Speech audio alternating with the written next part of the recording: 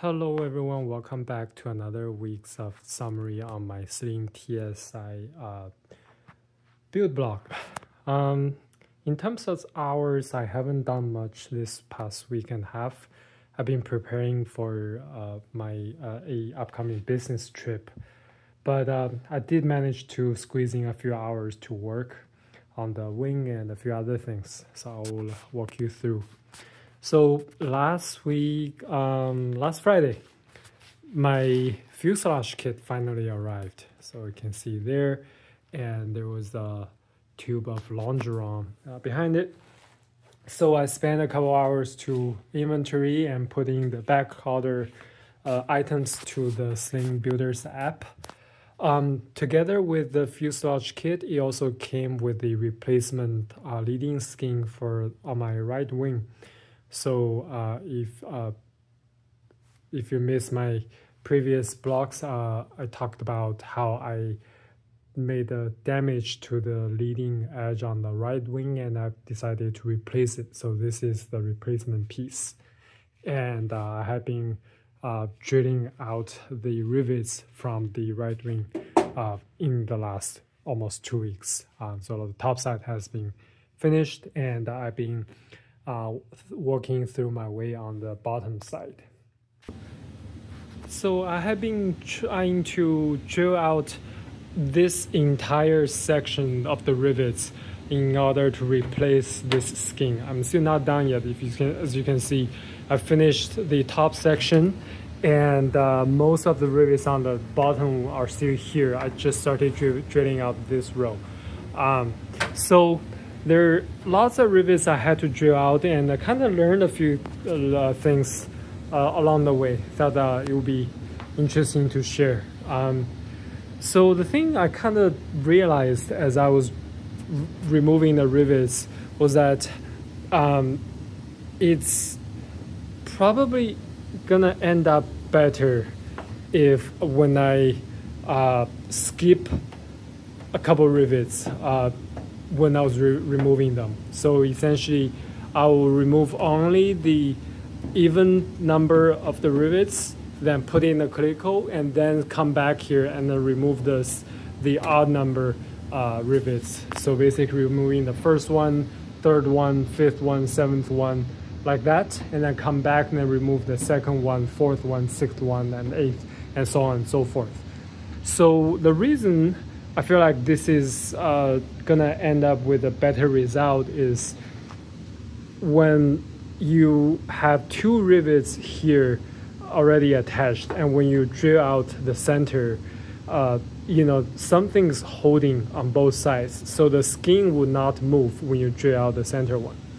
And same here right? So when you skip one and move to the next one uh, you still have something on both sides to hold the skin down and so you can re remove the center uh, rivet. So basically overall as I drill out every rivet by skipping one in between, the, uh, the skin is fairly stable.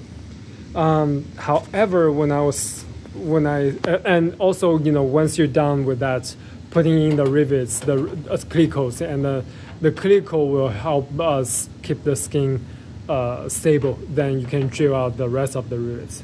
So when I started this process, I kind of didn't think about this.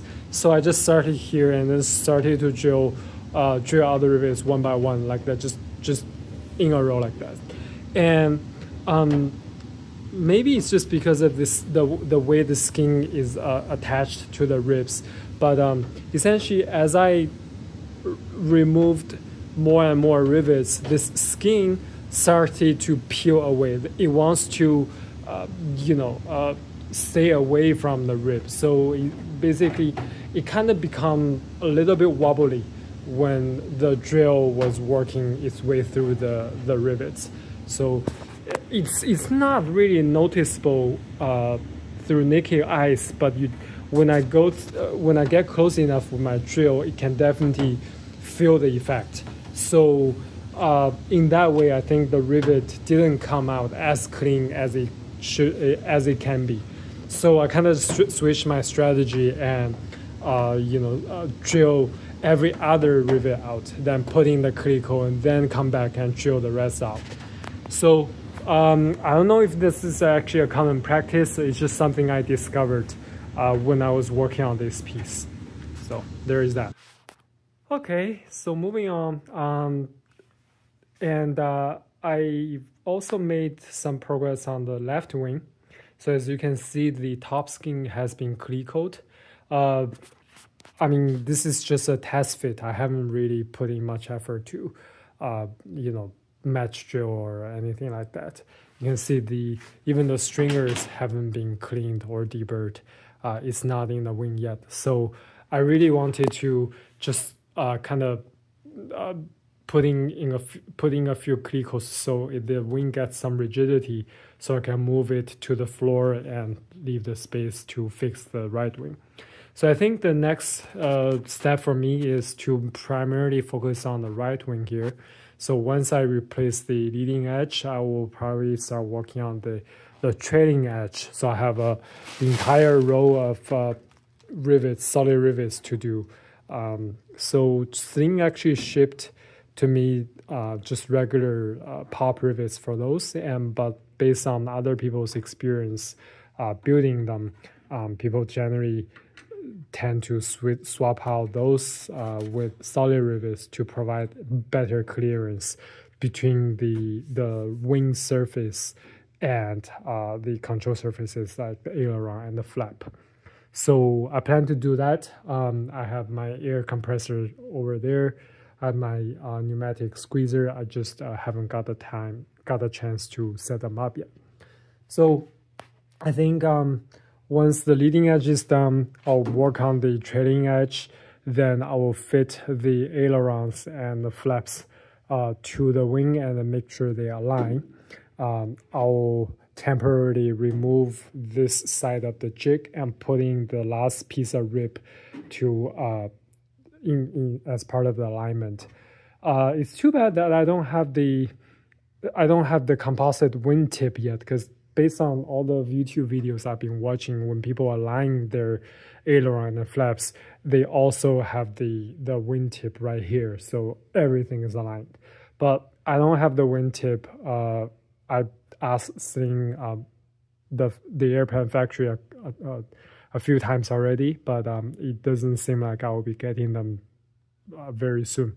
So I don't know what's gonna happen uh, on the alignment. Uh, I think I'll, we'll figure it out. I think I'll at least I will try to put on the rip uh, rib 14 and and hook on and and use some um, I believe that's AN3 or AN4 bolts to uh, I'll temporarily put them on and just see if I can have enough uh, kind of you know corners to align all the parts. If not, then I guess we'll have to wait for the wind wingtip to show up. Um, yeah, and uh, also still missing the landing light. I'm missing the landing light parts itself, so I cannot, uh, I can't actually um, install the landing light yet. Um, that's it on the left side. Oh, obviously, I still need to build a fuel tank um, on the right side.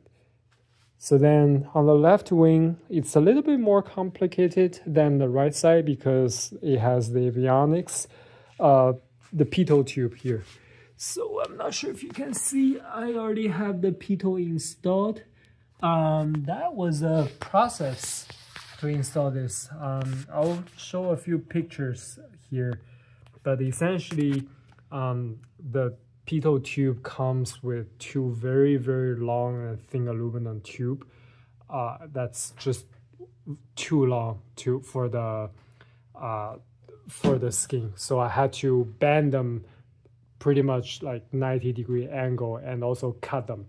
So on the installation manual, they say to leave at least eight inches of the aluminum tube um, at first, I didn't know why. I, I forgot where I read them, but essentially, someone mentioned that the eight, eight inches length is supposed to uh, provide enough, I guess, enough metal and surface area to for the uh, for the tube to cool down. So it doesn't melt the plastic tubes that's connected to the uh, pitot. So that makes sense. Um, so I connected, I installed the wiring for the pitot also. Um, and uh, I drilled uh, a couple holes, uh, manufactured, I guess, uh, manufactured a uh, mounting point for the pitot controller unit. Uh, then kind of just run the wire and run the plastic tube across the wing. And here's the uh, here's the tube, and here are the wires. Um, yeah, so that's kind of on the right side. Uh, bottom skin is already finished. Um, this the sorry the left side, and um, the left wing is slightly behind compared to the right wing. Um, I still need to have uh, do the leading edge, the aileron and flaps, uh, then obviously the fuel tank. So maybe a couple more weeks of work here uh, for both wings combined. Um, I'm really looking forward to open up the box for the fuselage and and you know look see what uh, what work is ahead of me for for that.